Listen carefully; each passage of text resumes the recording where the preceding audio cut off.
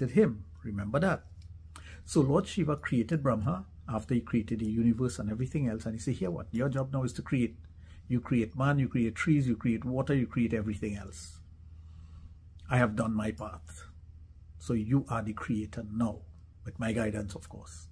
And then you have Vishnu, Bhagwan, the preserver, the manifest, man who manifests himself, the God who manifests himself in many different forms and fashion to suit the time. Whenever unrighteousness prevails anyway, he takes care of that. You get rid of it. So, after those, you have the consort, because all our gods, as you want to call them, what we have one God, all the representation of God has a female counterpart. That's why the female is very important to us. Devi Ma is very important to us. That's why you as a Sanatani should always treat your wife, your sister, any female with reverence. Always remember that. We pray to the female form.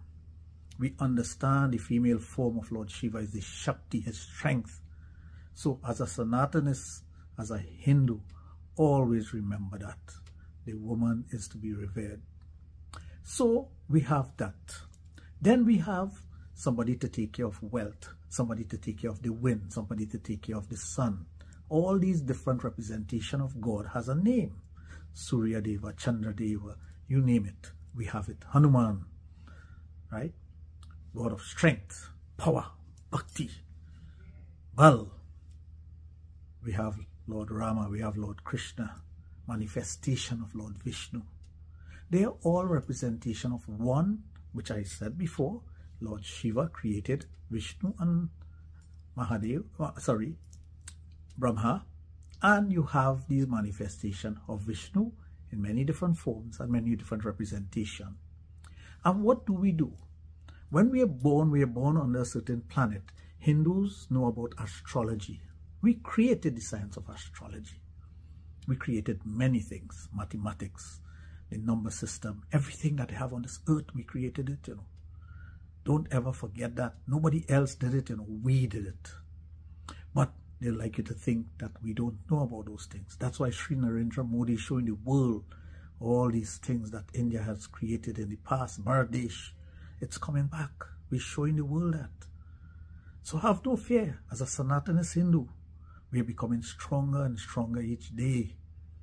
You know, for years we've been buried. We are ashamed. We were made to feel less than. Now with Sri Narendra Modi in India, we have been given the strength to show the world all the things that we have created. Surgery was created in India. You name it, it was created in India. They can say whatever they want to. The facts are there. And the great thing about it is that we have books upon books upon books upon books. Many holy books that tell you about all these things. Carving that goes back thousands of years. 3D carving. When the Western world was now learning to draw in 2D, we had 3D carvings. So that's the power of Sanatan Dharma. And always, always strengthen yourself by having this knowledge. I'm here to provide all these bits of information so that you as a Sanatanist will have the information, you'll have the strength to deal with these individuals when they come to you and ask you to convert or to believe in something else because what we have is far, far greater than what they will ever have because they adopt from us. Jai Sri Ram.